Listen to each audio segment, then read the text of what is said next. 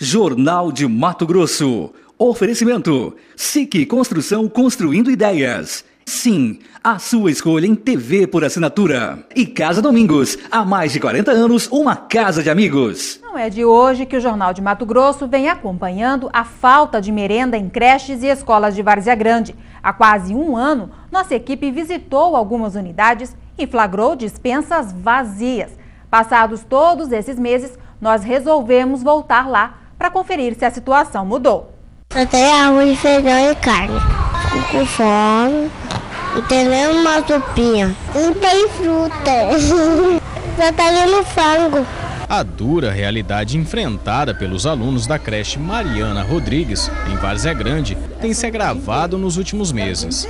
A diretora admite que já pensa em fechar os portões da unidade. Falta óleo, falta açúcar, falta tempero, né? Leite não está vindo. Leite eu estou pedindo para os pais, porque eles mamam. São crianças pequenas, de 2, 3 anos, precisam mamar. E quem está trazendo leite são os pais. Nós vamos ter só o macarrão. E se não chegar, nós vamos fechar. O cardápio enviado pela prefeitura é farto. Já a dispensa e o freezer estão praticamente vazios. Na geladeira, uma única caixinha de leite, que obviamente não dá para alimentar toda essa molecada. Quem trabalha na creche sabe da triste realidade e, apesar da condição social, ajuda com o que pode na merenda das crianças. Hoje eu trouxe o fubá, né? Um caldo de galinha para poder inteirar, para poder dar um sabor, né? Mas a gente está sempre trazendo. Outros trouxeram outras coisas. Traz cheiro verde, traz também salada, né? Para fazer, para complementar. Já nesta escola, a realidade hoje é um pouco melhor, mas a dispensa nem sempre está assim. Temos a base de uns 250 alunos mais ou menos, né?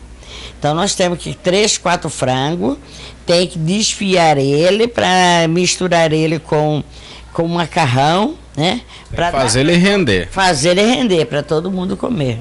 E essa semana passada agora faltou? Faltou. O que, que vocês tiveram que fazer? É farofa de ovo, mais farinha do que ovo. Um dia chegou de ter só arroz, feijão e uma banana. Só, aí mais nada de mistura. E com a falta constante de alimentos, as cozinheiras têm que se desdobrar para não deixar a criançada com fome. A gente usa a criatividade, né? Porque às vezes tem um pouco de uma coisa, um pouco da outra, a gente acaba juntando e é, confeccionando o alimento, né?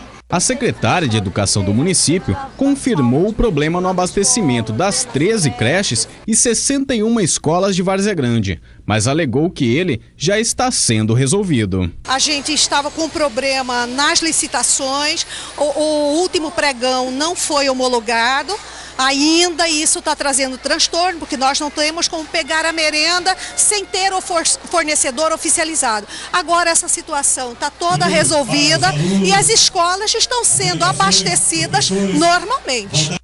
É, mas a situação não está resolvida não. Na escola que nós mostramos, chegaram vários alimentos, mas nada de carne. E na creche, o leite e o frango enviados já estão no fim de novo. E hoje os funcionários fizeram uma cota para comprar carne moída para fazer com batata.